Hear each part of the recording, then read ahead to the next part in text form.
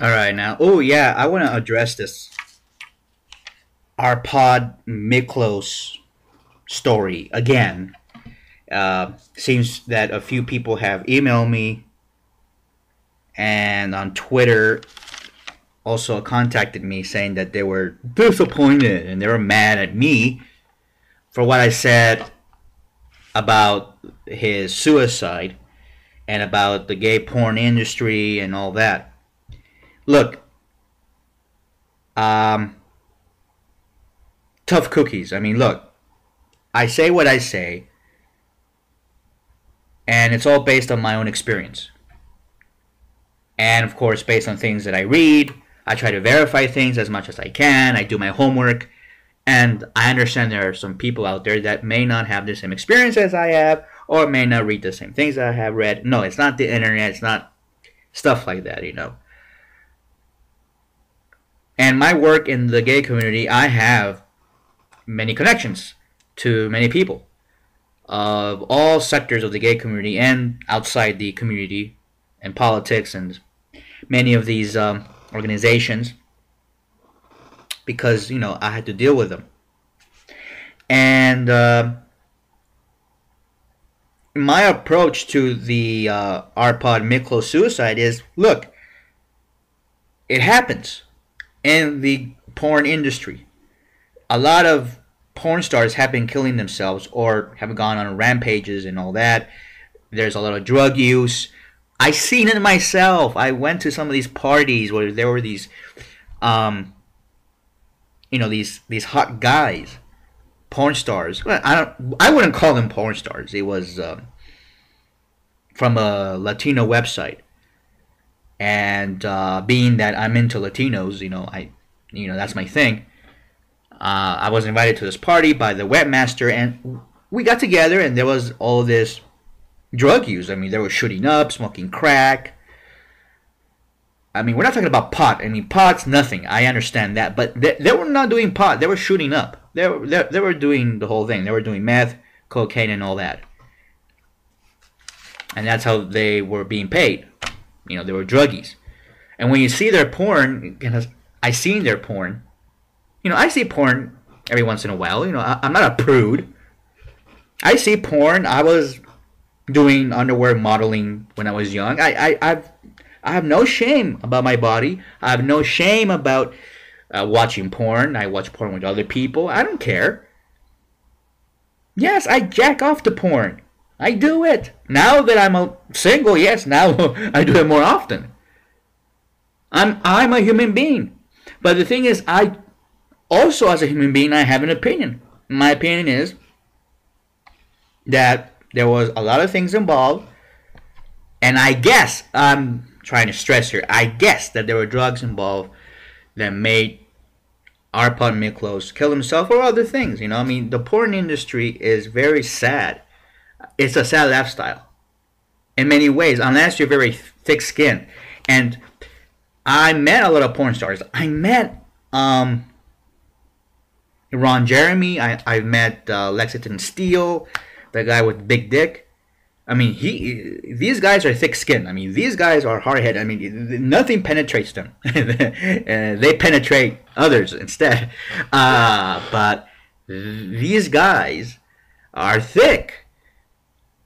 Not only with their dicks, but their thick skin. I mean, they can handle it. They can handle this lifestyle. You know, they don't do drugs. They they lay off the alcohol. Uh, you know, they take care of themselves. They, they make sure they don't get AIDS and all that stuff. They get checked. You know, maybe Arpad Miklos had HIV and he found out he killed himself. I don't know what happened. But but always you'll see that trademark or that, that, that fingerprint of drugs were involved, drugs were involved, drugs were involved. And when you have drugs involved, people act weird. Their whole psychological viewpoint changes and they become different people. I've seen that happen with my own friends. I had friends who killed themselves because of drug use. Okay? Why did they start using drugs? Well, because they had mental issues. And some people that go into porn have issues. I'm not saying that every gay porn star there has issues. I met many gay porn stars are, are fine people. They're intelligent, and and um, and that's that. I mean, you know, and I'm sad that he had to kill himself. He shouldn't have done that. And I'm not trying to make generalizations here. Okay? I'm just saying, based on my experience, it's a probable cause that this is what happens. It's like when you try to investigate a crime scene. The detectives will say, well, usually, right, this is what may happen, but we're going to investigate. If you have a dead body in the middle of a ghetto, let's say of a Latino community, because I lived in those ghettos when I was young, and a Latino ghetto community, what do you think might be the cause? And then you see the dead body, the dead guy, shot to death, blood all over, and he's wearing baggy pants. What do you think? It's gang related. He may not be a gang member. They may have mistaken him as a gang member. In fact, I had a relative of mine who was shot because they thought he was a gang member. He was not involved in gangs, except that he liked to wear the, that type of attire. And he was shot dead at 13 years old. In fact, there's a news report about it. I'll, I'll bring it up one of these days. Uh, talk about gun violence. But the thing is, is that I'm not generalizing. But the thing is, is that many of these types of incidents where you have a porn star gay or straight, who are doing drugs, they end up doing weird shit. They end up doing, you know, jumping off bridges or killing themselves or others. And you've seen all those reports, you've seen all those news stories about porn stars going to their studios and mowing down people or chasing them with machetes. You've seen all these weird stories, and you ask yourself, why does this happen?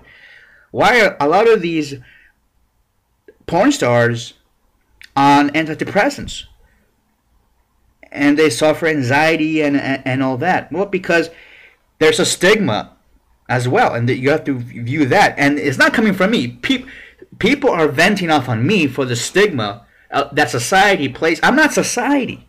Although I belong to it, I'm not the one dictating, hey, let's stigmatize uh, uh, adult performers. I'm not saying that. I, I it, it's just an honest living. That's what I think it is. I don't really care if you're a porn star.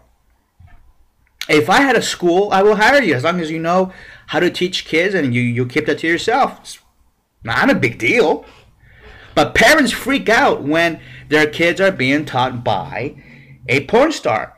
Reasons for, I don't know why. There are various reasons. They think that your character is flawed, that your, mor- your morality is flawed, or I don't know, that you're a cheap whore. But I think that a lot there are a few porn stars out there who view this as an art or whatever. Fine, you don't care about the money.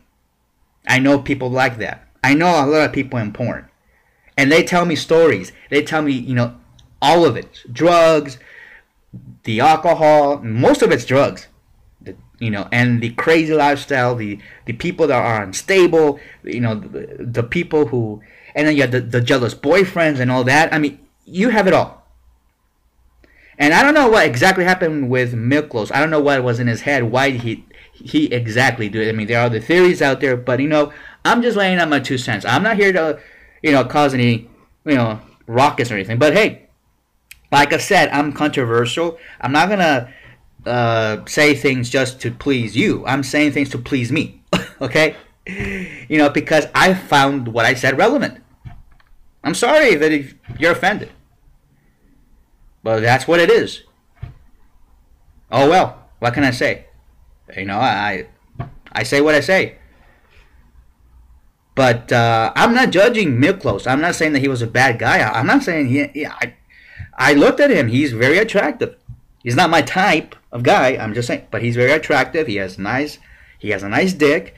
He fucks really good. Hey, he's a good porn star. He's a good performer. I really like him. But I right now since he just died, I wouldn't want to watch you know you know a scene with him in it because it's kind of creepy that I jack off to a porn star that just recently hung himself or killed himself. It's just you know it feels kind of creepy. uh, but uh, rest in peace. I mean that's all I can say. Poor guy. Uh, but he shouldn't have killed himself. There's no reason to kill yourself unless there's something else that made you impaired, which could have been drugs, which could have been anything else, or emotions, or some mental disorder. I'm not here to stigmatize anybody. I'm just laying out the truth based on my experience, based on things that I've read, people that I talked to, the people in the industry who told me all these stories. So that's all I can tell you. And no, because yeah, there's a lot of drug use. It doesn't mean that every porn star is a druggie or a drug user. I'm not saying that. I'm just saying that it's there's a lot of drug use within that industry. Okay? Just like when we say about the Catholic Church, uh, there's a lot of pedophilia going on there. It doesn't mean that every priest and every bishop and every monsignor is fucking a kid. No, we're not saying that. All right? So there you go. That's all I want to say about that.